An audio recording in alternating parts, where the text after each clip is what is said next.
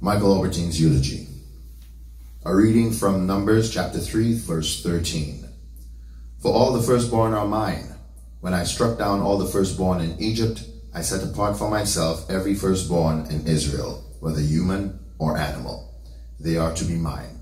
I am the Lord. This is the word of the Lord. I am a firstborn, the firstborn of a firstborn. Michael Aubertin was born on April 26, 1948, to his mother Evelina Modest and his father Mitchell George in the city of Castries.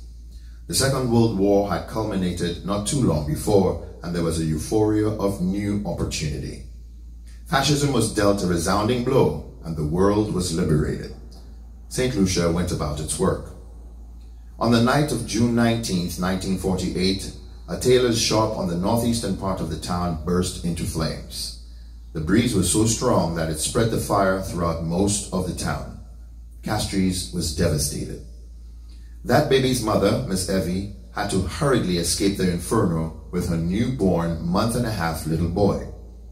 Out of the ashes of that devastation was a rebirth of sorts, a theme that was to seemingly follow this child throughout his life. Michael was a precocious little boy always dressed to the nines in his dundat. His father was a military man having enlisted in the Royal Army during the war and was a musician at that, so his purportment of dress was impeccable. A little sister came a few years after, Auntie Jean, and he got thrust into the role that would frame his life's work thereafter. Mike became a big brother. Circumstances being what they were, Mike assisted his mother with raising another eight siblings. Four boys, Uncle Bina, Uncle Zap, Uncle Brian, and Uncle Pimpo, and four girls, Auntie Rosie, Auntie Cheryl, Auntie Audrey, and Auntie Maggie. He attended the St. Aloysius, I'm sorry, St. Aloysius RC Boys School, where his teachers developed his inquisitive nature and love for reading.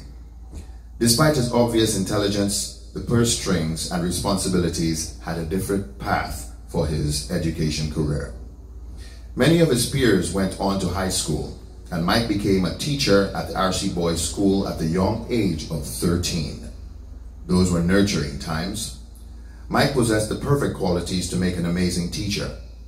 His patience and persistence, despite his small stature, were qualities frequently referenced by seemingly older gentlemen who stopped him on the road in his later years, telling me that your father taught me in school.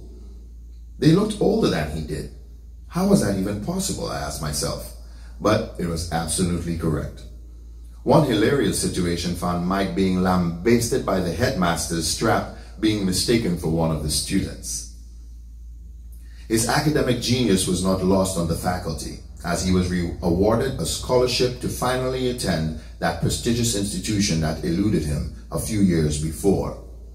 Mike would find his seat at the St. Mary's College, joining in fourth form. He would excel in his studies and also develop his writing and musical skills at SMC. He started liming with the CYO fellas and thought himself quite the baller, having the audacity of being in the bars for a Presentation House against the likes of Clouden, Shining, and Chortet from Rodney. His face burned him a few times, but he actually saved goals, even a penalty. Gus Small would be the Huck Finn to his Tom Sawyer, and they would forge a lifelong friendship. Musical influences like the Beatles caused them to start their own band, the Beatniks, along with Winston Maynard and Mark Lord, with a two-part harmony that rivaled the sound of the Everly Brothers. Quiet in his nature, he was also a disciplinarian as his siblings knew all too well. Not hesitating to mete out the frequent corrective actions to the bewilderment of his brothers and sisters. Auntie Rosie would say, eh, eh, the boy think he's our father, eh? One of those instances found Mike crossing the Marshall Bridge where his mom, who was a firebrand in her own right, was engaged in a verbal exchange with a male individual, and upon happening onto this scenario, Mike who, like every young guy of that time, carried his ratchet in his back pocket. When the guy feigned to slapping his mother, he stepped in and quietly told him, if you call yourself Batman, just touch her The deliberate control and focus in his voice was enough to give our agitator pause, and he quickly changed his posturing with the, Oh, you bad! You bad! To which Mike retorted, I'm not bad, but if you call yourself bad man, touch her. Right around that time, the family lived in an infamous part of the city, Grass Street. Back then, it was an enclave of middle class and upwardly mobile families separated by a river. On one side, Mike lived with a number of precocious boys like himself, Gus Small, Peter Springer, just to name a few. And on the other side was the apple of his eye, one of Mr. Joe's daughters in particular, the one with the name like a flower, with any other name and would smell as sweet. His friends thought he was crazy, having the audacity to want to try a thing on Mr. Joe's daughter. He has a death wish, they thought.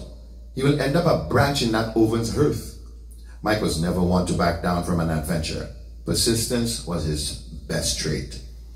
A whirlwind courtship ensued much to the demise of Mr. Glasgow's rose bushes, and his persistence paid off. They would be quite the item, sharing a lot in common, she being a teacher at the Rocher School herself. He was 16, she was 15. They courted for six years. Mike was an avid spearfisher in those days, and he would go out with his spear gun and catch some beautiful specimens. He would bring it back to her, and she would tell him, Boy, bring your fish to your mother tongue. I tell you I want fish. A real shabby. She had aspirations for nursing, which led her to the UK for her studies in 1968. I can't imagine what was going through his mind. He ended up as part of a student exchange contingent representing St. Lucia, which found him traveling to Manitoba, Saskatchewan, Canada, and he wasn't even there to see her off. It took two weeks by cruise ship to get to England. When he got back to St. Lucia, he immediately began to source out a way to be with her. And lo and behold, Mike found a way. He applied for a scholarship to train to teach English as a second language at Moray House in Edinburgh, Scotland just a stone's throw from Norfolk, England, where his Rose was studying. Talk about bull-dogged persistence. He wasn't about to let his Rose go. They got married soon after, and they had the gem of an offspring, which would solidify that union. Mike and his little family came back to St. Lucia and started to carve out a life. He very quickly got to work, both professionally and creatively. He went back to Teachers College on the Morne where he sharpened his teaching chops. He also created the Calypso alter ego, which would become famous in its own right. But what to call himself, he thought. There were the greats at the time, like the Mighty Sparrow, Mighty Troctus, Mighty Shadow, Mighty Pele. He would adopt the moniker Mighty Mighty in true Mike fashion. It was brilliant.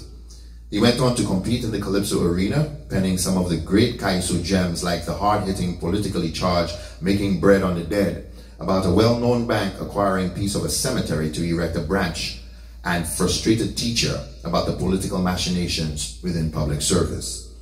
These amazing pieces crescendo to the cleverly worded puns of Now I sure is my thing come and Deep ball the second boss, he have too much say. Tight Shit and Big Brother and the quirky satirical Bullen family saga and UFO were just another one of his brilliance. He went on to win the 1979 Independence Calypso title with Jumping Defense, one of his crowning musical achievements. By that time, he had already penned a play, Invocation, which was produced by the Creative and Performing Arts Society in 1972, alongside plays by famed Barbadian poet Kamau Brathwaite and Stanley French. Mike held his own alongside the literary greats. Dame Pearlette Louisy actually played a significant role in that play Invocation. Mike wasn't one for the limelight and pomp. He increased his family brood by one with the birth of his princess, Nicole Alma Aubertin, on May 27, 1976. Another apple for that eye. Renewed with creative fervor, he quietly entered a short story called Calypso Finals into a BBC World Short Story Competition and representing St. Lucia beat the whole world winning that competition in 1977. I remembered him having to go to a neighbor's house to use their phone for the live radio interview with the BBC. The irony isn't lost on me. Mike had no ego. He would do whatever it took to put food on the table for his family. His public service teacher paycheck, along with his wife's nursing paycheck, combined was insufficient to be eligible for a mortgage. Undaunted, he turned his back on what he loved the most and took a job which would pay more, selling cigarettes and liquor out of a van driving around the island for a local wholesale retailer. He did score that mortgage for his final. This was a man of conviction.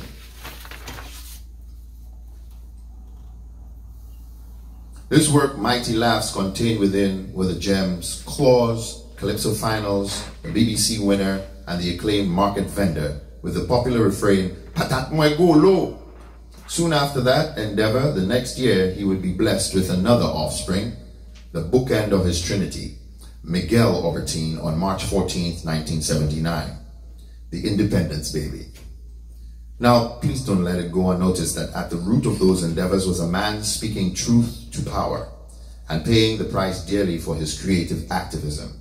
He employed every creative tool he had to provide for his family. That same Mighty Laugh short story publication was followed by a live LP recording catching the sunbeams, Michael Aubertin Live, with his comedic genius. None of these creative works were enough to pay the bill, so he tried his hand in insurance. And again, the powers that be sought to cap his abilities.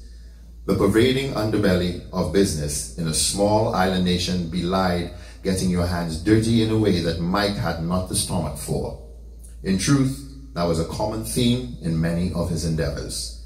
There was always that principality he was fighting which sought to try to break his resolve. But Mike had the power of the Most High on his side throughout. He tried his hand in advertising and excelled within that sphere as well, producing some of the most well-remembered jingles and 30-second commercials of the time, filled with wit and energy at the same time getting the branding across. Long hours were spent at the RSL studios where the greats of the discipline attended to his production requirements, many of whom have passed on. This endeavor fell prey to that same principality as well. Mike had the uncanny ability to reinvent himself, a reincarnation from one form to the next. Whenever there was the proverbial burning of an attempt, he would morph into something much more resilient. Out of the ashes rises the phoenix, he would say to me. Flowers must all fall before the fruit come. He began his production stint with Catholic Television Broadcasting Service, CTBS, where with his love for the island, his creativity, a VHS editing suite and camera, shepherded untold souls with his service to the Most High.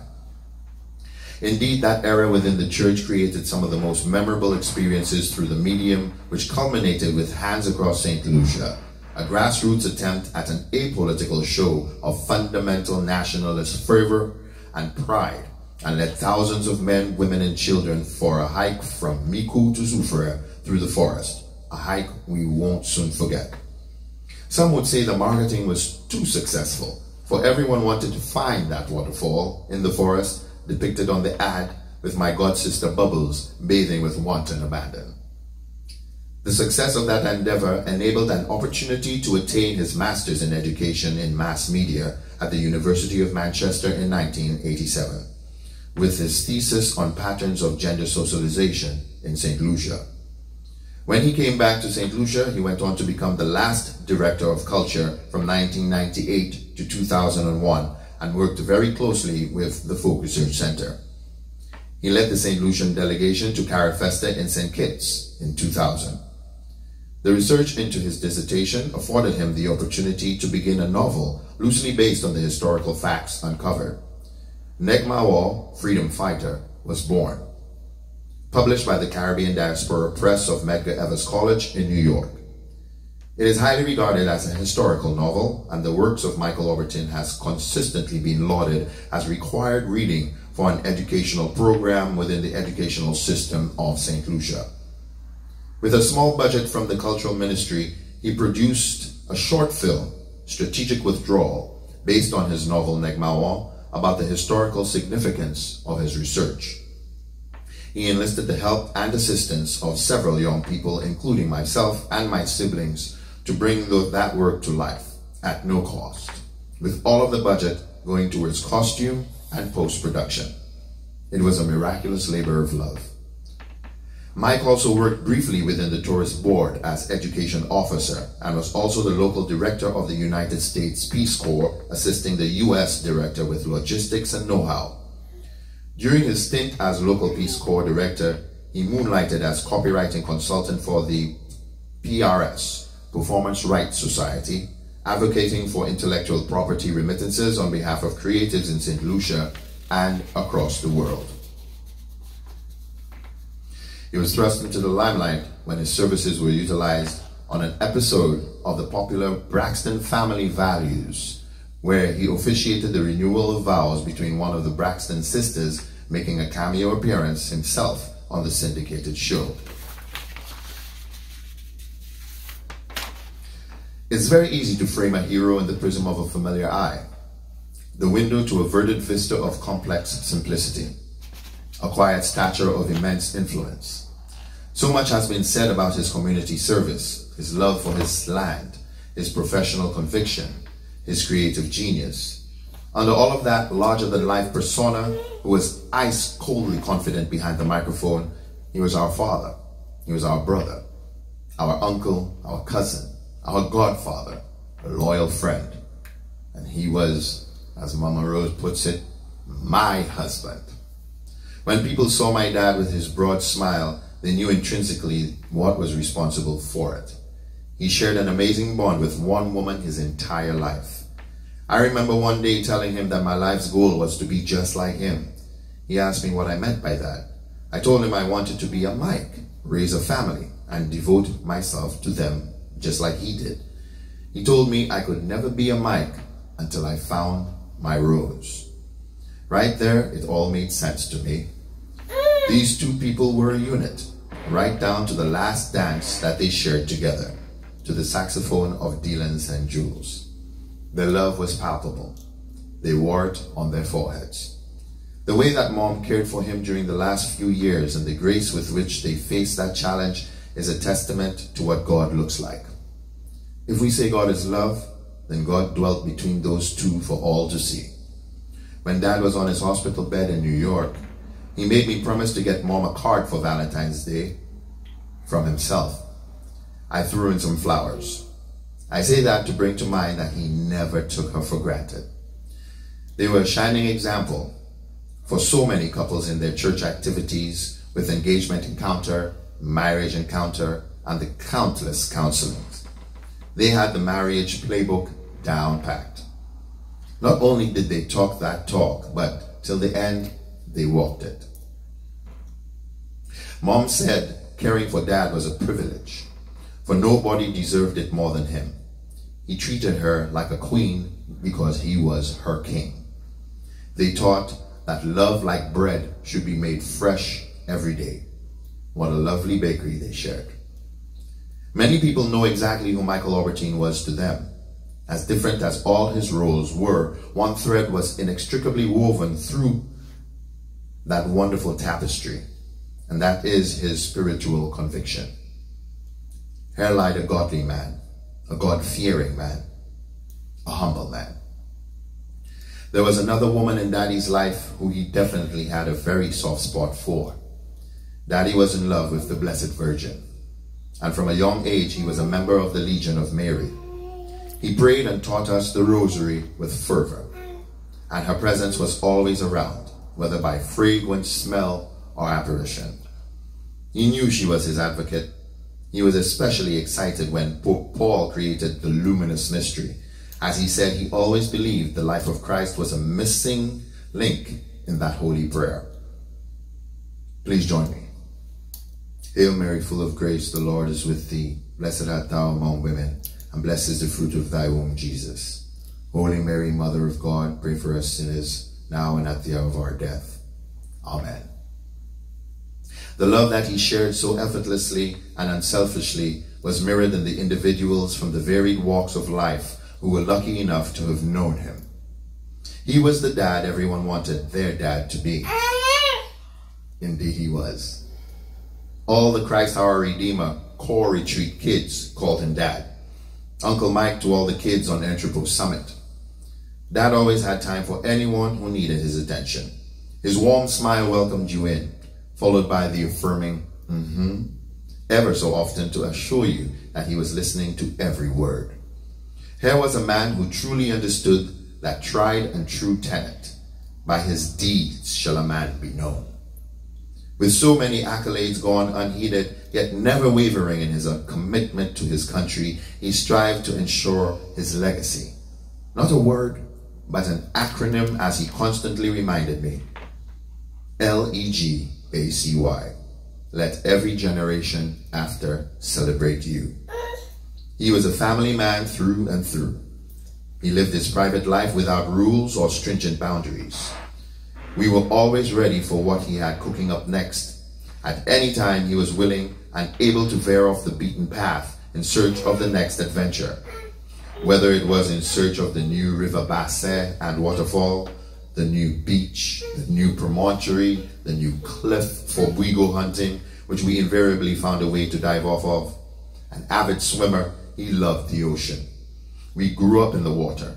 Beach parties, river parties, waterfalls, bassin, ponds, quarries. If water was in it, we swam it. He ended up a qualified PADI scuba diver, and we shared the beauty of the underwater environment of St. Lucia, diving under the pitons and Anse Chastanet, some of his favorite dives. He was always up for a challenge. When we went cliff diving at the back of Pigeon Island on the so christened Parabonga Cliff, Daddy would be jumping off the 45 foot cliff. He would take our sister for a hike of a lifetime up the Gros Piton and spend the night camping on the peak. He would ask me for his favorite rock song whilst he drove to Vieux with his diesel truck. Final countdown for that extra adrenaline rush as he role-played an F1 driver. Daddy loved movies. Storming the beaches of Normandy at Réduit Beach with branches for machine guns holding his hand over his head as he swam like a shark, stalking us in the shallows like jaws. At any given moment, you had to be ready to drop everything and get your bath suit because we would all pile into the back of the van and were off to the next adventure. Daddy practiced TM with fervor. For the uninitiated, this was transcendental meditation. He trained himself for years to still his mind and journey within to tap and access to a spiritual world. At the young age of seven, I remember walking into a room and finding him standing on his head in the middle of the room with his legs straight up, not touching anything around him. His eyes were closed, and in fact, he was fast asleep on his head, as I thought, because despite my pains to wake him, including peeling his eyes open, they were rolled back in his head, and no amount of screaming his name directly into his ears would wake him up. As abruptly as possible, once he was done, he would all of a sudden get down or dismount, as the case may be, and, and ask me nonchalantly if I needed something. Once, when watching Neil deGrasse Tyson's Cosmos and the Universe, he got up abruptly and with excitement exclaimed that he knew and had visited the Magellan Cloud Nebula, a black hole. It was either my dad was a raving lunatic or he was telling me the truth. And knowing him as I did, I had to choose the latter. Rigsby was not an option. He said it was during one of his deep TM sessions he was finally able to let go and he found himself whizzing over the cosmos in a lucid state. But he was afraid of a dark place in the universe as he approached, which until that episode he hadn't known what it was called, but recognized it as the Magellan Cloud. Hmm. Quintessential Michael Aubertin. When everyone else was lifting weights, he would be in the bathroom sweating up a storm practicing Bruce Lee's dynamic tension, making one punch last three minutes as if in super slow motion. When everyone else would drink magnesia for a bellyache, he would be in a mirror with a glass of water on his hands over his midsection, meditating, and then drank the water afterwards. Bellyache gone. My dad, as my brother Miguel would say, was the very best. One of the last adventures we went on was a kayak excursion that I organized for him with Andre and Thomas Dive Fair Helen in 2018.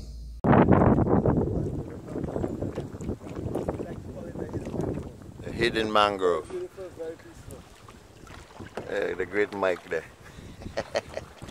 Getting it good for the time. Blessed love. Oh gosh, boy, we're going inside there? Yeah, that's the inside there. Respect.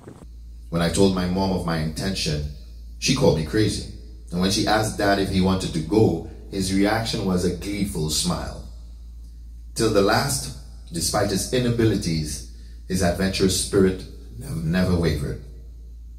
We got in the kayak at Marigot Bay. I told him if we turned over the kayak that I would fall in as well, so he shouldn't worry. I would keep him safe. I asked if he was nervous and he replied an assured, not at all. And we commenced paddling to the mouth of the Roseau River, where we took the kayaks over the beach into the river itself. We paddled into the white mangrove forest there and were greeted by the solace of the beautiful habitat. He closed his eyes, and I couldn't help but allow the kayak guide to go on ahead as we drifted silently behind. We shared a moment there. I began to sing the chaplet of the Divine Mercy in its entirety. He was silent the entire time. Chano. It looks really beautiful. Yeah, I tell you, I tell you, I tell you. I go to that place when I think of him now. Eternal Father, I offer you the body and blood, fame and divinity of your dearly beloved Son, our Lord Jesus Christ, in atonement for our sins and those of the whole world, for the sake of his sorrowful passion have mercy on us and on the whole world. He loved. That's what he was about. He loved his country. He loved his family. Loved his people. Thank you for loving him back. Blessed love.